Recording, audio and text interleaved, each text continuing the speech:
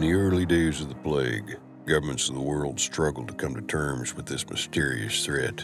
The world shook its collective head in bewilderment as those affected by the disease did not attack the living, but instead would just wander off, paying no mind to the brains and entrails of the healthy humans nearby. On a quiet stretch of country road, we find one of these meandering rejects shuffling along, and like the rest of his kind, Karl is completely, utterly without hope.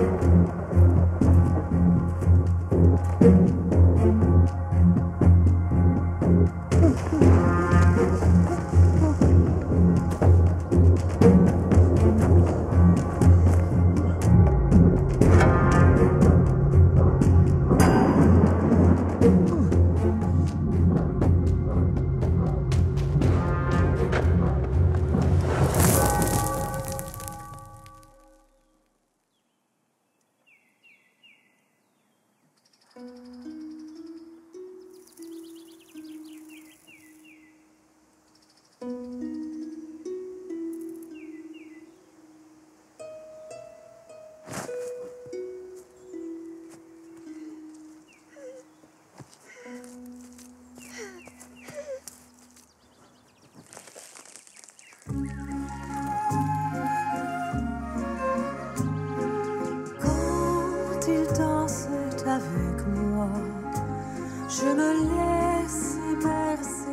ses pas.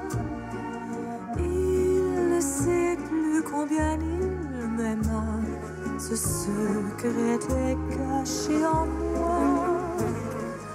On s'aimait dans le passé, sans savoir qu'on pouvait s'oublier. Oublier les moments de passion. Parfois, j'en perds toute la raison.